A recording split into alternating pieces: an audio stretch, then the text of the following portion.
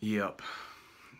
You're probably watching this right now and you know that you've done this. We're talking about the mindset of inverse growth. You felt bad for somebody. You you wanted to show empathy. You wanted to show them that you were proud of their actions because their outcome wasn't what they hoped it would be. You think that they put forth all their effort and energy. Maybe you were the coach. Maybe you hope that you did too. Maybe you feel guilty that maybe you didn't prepare them as much as you thought you should have. Whatever the situation, then you try to mitigate that loss or you try to discount reality or try to make sure that they understand hey there's going to be a tomorrow you can be positive but instead you focus on things outside of their control instead of just focusing on themselves and just keeping it short. Working on moving forward and learning from their mistakes